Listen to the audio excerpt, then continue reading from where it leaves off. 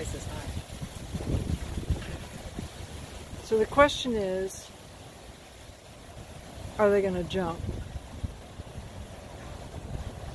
And the question is, should we call 911?